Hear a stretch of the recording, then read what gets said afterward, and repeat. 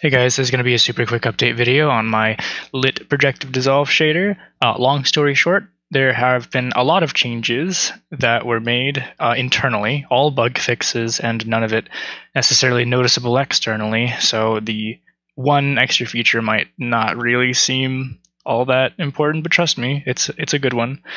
Um, I hadn't really planned to release this until I thought I had squashed all of the bugs that I had seen, but with my time being spent on other things, I decided that it would be better just to release this uh, in its current working state.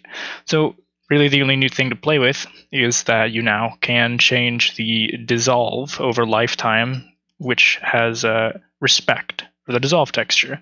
So, I've got a dissolve texture in here, like I normally would. If I set my custom 2 vector from last time to three components, and I've already got a curve in here, but um, this is the value here that's going to control the dissolve over lifetime. You can see it in effect right there. The patterned dissolving working as intended. I can control this curve just like any particle curve to you know change its properties. So now if I want it to dissolve super quickly in the particle's lifetime, it'll do that. That's Unfortunately, the only real new feature, everything else is kind of just internal. I've fixed a lot of rendering issues and sorting issues, but that's all stuff that basically no one cares about. So that's all I've got for you. Uh, hope to see you next time.